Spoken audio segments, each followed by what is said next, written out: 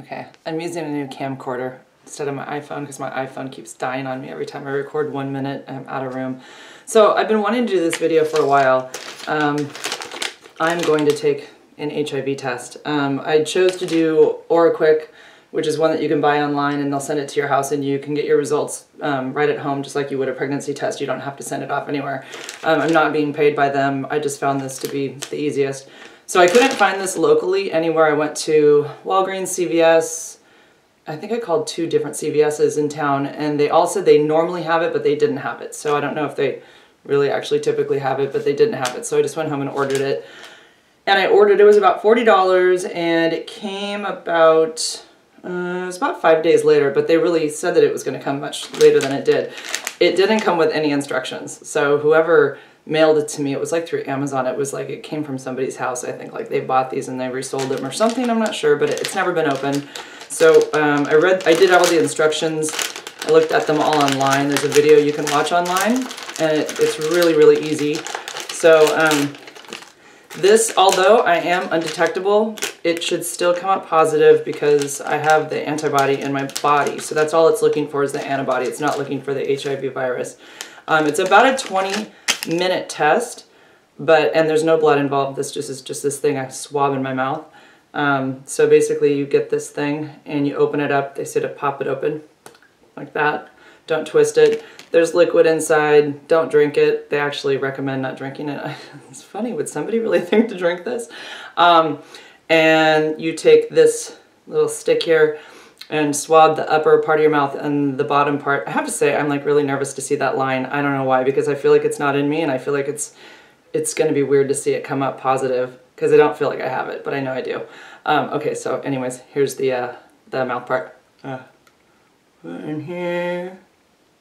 I'm nervous. It's weird. Okay, uh, of heart on your gums. Okay. Got lipstick all over it too. That doesn't matter. Okay, then you put it in here. It says to let it sit for like 20 minutes. So they say set your alarm.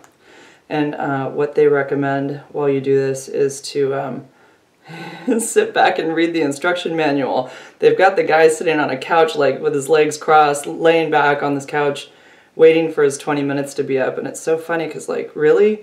You're waiting to find out if you have HIV. Who's going to be laying on their couch just, oh, I need to be over here. Who needs to be, or who would just be laying on their couch just chilling out, like reading a, a instruction manual or finding out what their life might be like after they have it. I don't know. I don't know what the reason is behind it, but I'm sure, I mean, I already know the results, but I'm sure if I didn't and I was waiting, I would feel like really anxious. I, I wouldn't be calm enough to uh, do that. Okay, I'm setting my alarm or my timer.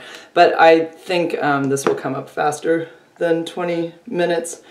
So positive is um, two lines or even just a, a slight faint second line. So the top line is the control line. Everybody gets the control line no matter what.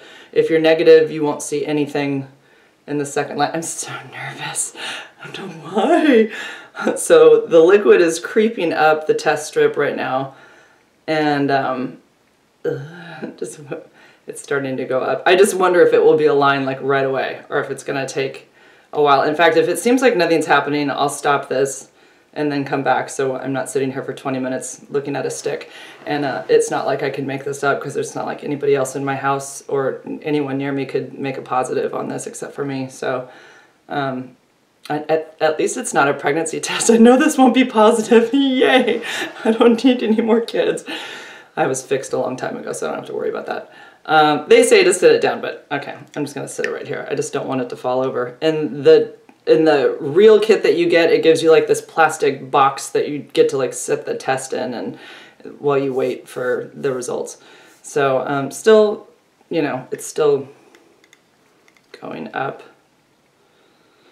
but it's immediate. You don't have to wait. I think there's another one that you can uh, mail in, and I thought that's stressful. That's like you know having to wait. You know, I don't even know five days or however long it takes to get to the person. Maybe two days, but that's really stressful. I think this is. Um, probably stressful enough and it would have been nice if it could have been just picked up at my local pharmacy or you know drugstore and then brought home and done immediately but I did have to wait five days for it which kind of sucked um, uh, it's going, it's going, it's starting to climb up. Okay, once it gets to the T part, I'll turn it around and we'll see if it just turns, if the line turns red right away. Um, yeah, there's lots of companies that do this, I think, or maybe not lots. I, I know of three. And, you know, there's probably one that you can do the blood also. Here goes. I don't know why I feel nervous. It's weird. So again, it's not testing for HIV, it's just testing for the antibody. So if you had the chicken pox when you were a kid, if you took a test for chicken pox, um, you would still have the antibody in you. So it's because your body fought it off at some point. And um, that's the same for HIV. So although I am undetectable, um, my viral load is like minuscule, it still should show up um, positive for HIV. And you know, when I tested for it, I really didn't. Um, when I was sick, um, wasn't expecting HIV. In fact, it, it like he asked if he could test for it, and I said yes, and I never thought about it again. So when I got the results, it wasn't like I was sitting on the edge of my seat waiting to see if I was positive for HIV. I never even thought twice about um, that test after he took it because I didn't think that's what I had. I just didn't. I thought it was going to be like something like meningitis or yeah. I just didn't didn't expect that at all. Oh it's like it's all kind of right underneath the T. Okay. It's not like I'm getting anything new. I already know I have it. I just don't know why it feels weird to see it on a test. Like, even though I get blood results that say, you know, well, actually, they say now that they can't find it because I am undetectable. But before that, you know, they obviously found it. Okay, so it's just moving up the stick. It looks like that. Ooh, there we go. And the first line would be, is that starting to show positive? Sorry, I'm trying to do this all, there we go, backwards.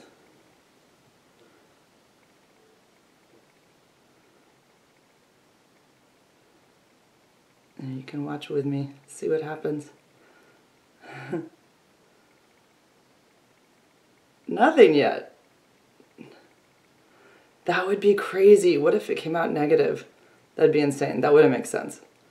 There'd be something wrong with the test. I demand my money back.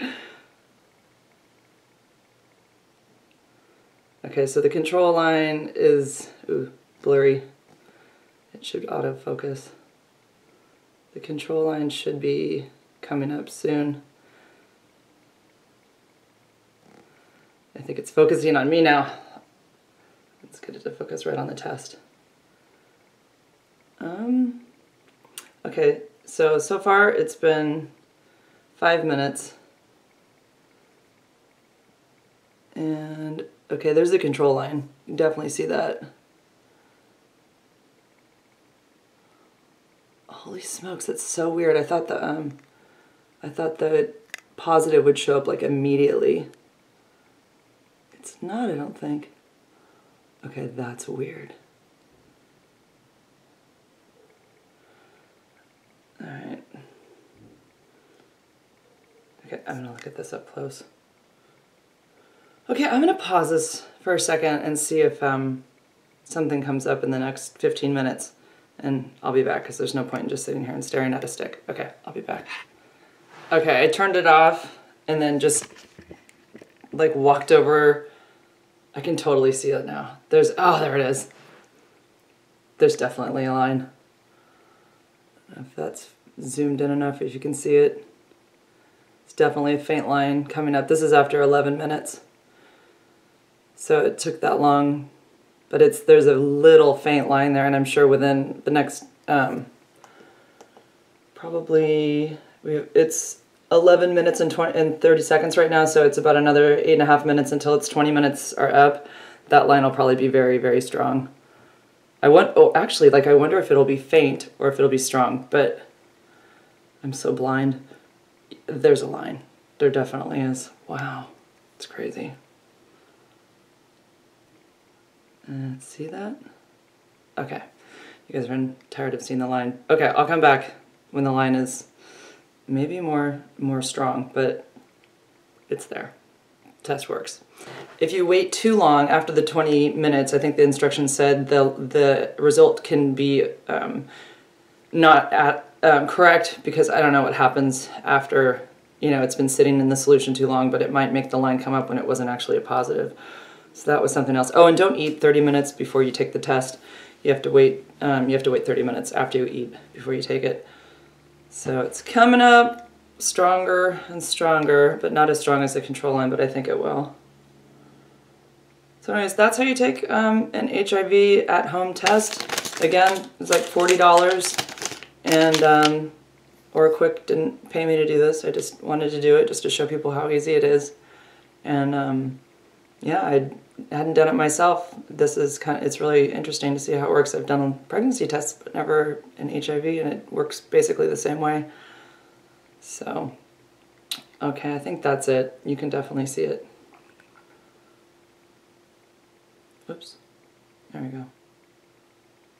Very faint. All right, so if you have any questions, uh, comment below and um, I'll do my best to answer them. Again, I'm not a doctor, I'm not, um, and I don't know everything there is to know about HIV. I know a lot. Um, I'm always surprised at how much I do know for the general public that don't know. So much people don't understand that I wouldn't have known had I not gotten it. I, there's so much I wouldn't have known.